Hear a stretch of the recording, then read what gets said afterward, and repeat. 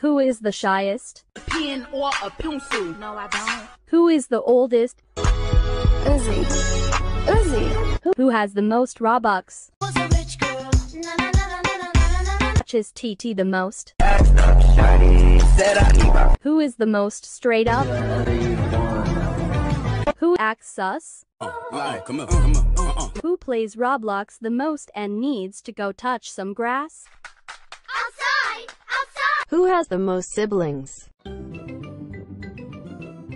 Who's the animal lover?